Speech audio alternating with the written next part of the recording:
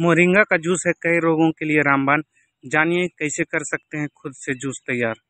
झारखंड में मोरिंगा को कई नामों से जाना जाता है, जिसमें कई औषधीय गुण पाए जाते हैं, जिस कारण इसे सेहत का खजाना माना जाता है। गुमला ज़िले में मोरिंगा को सहजन, जो कि सुट्टी के नाम से जानते हैं, सहजन की पत्तियाँ, फल, फूल डंटल सभी में औषधीय गुण पाए जाते हैं।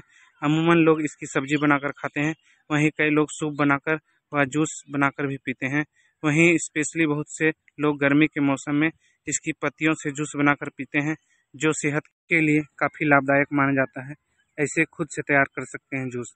सबसे पहले सहजन की पत्तियों को तोड़कर सूखा लें, फिर मिक्सी या अपने सुविधानुसार उसे पीसकर चूर्ण बना लें, फिर एक गिलास पानी ले, उसमें आधी छोटी चम्मच मोरिंगा पाउडर, नींबू, पुदीना की पत्तियाँ डालकर अच्छे से मिक्स करके पिए।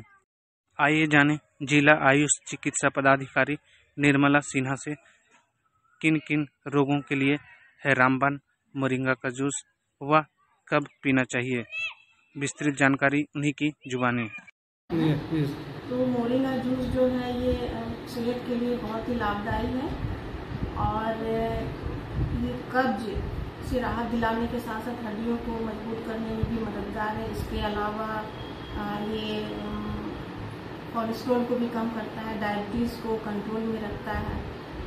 और पुराना से पुराना जो कब्ज है, उसमें भी ये बहुत ही लाभदायक है। जूस इसका जूस और सब्ज़ी सुबह एक गिलास पीने से काफ़ी फ़ायदा पहुँचता है। जूस को तो खाली पेट ही पीना है। पहले खाली पेट ही लेना है।